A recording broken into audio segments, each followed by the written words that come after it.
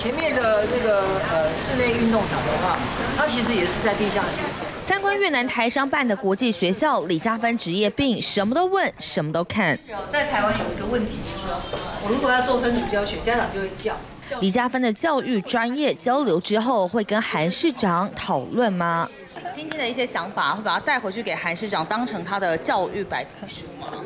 没有，有就是因为有国政，也有国政顾问团嘛。但是就是看到的一些心得啊，我们还有一些来，对，廖嘉琪老师，他就是国政顾问团的成员。议员马上解围，就怕敏感议题再被解读是夫人干政，因为绿营紧抓夫人帮议题穷追猛打。其实我觉得。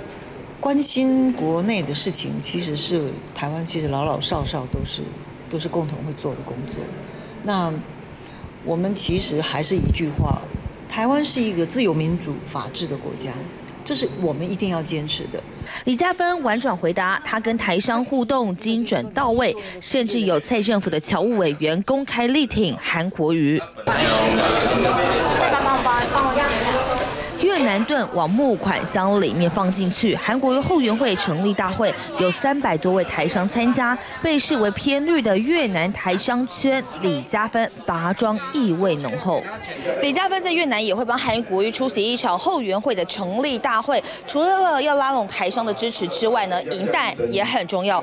所以在桌子上面每个位置都会放了一张这样子的捐款单，希望台商出钱出力。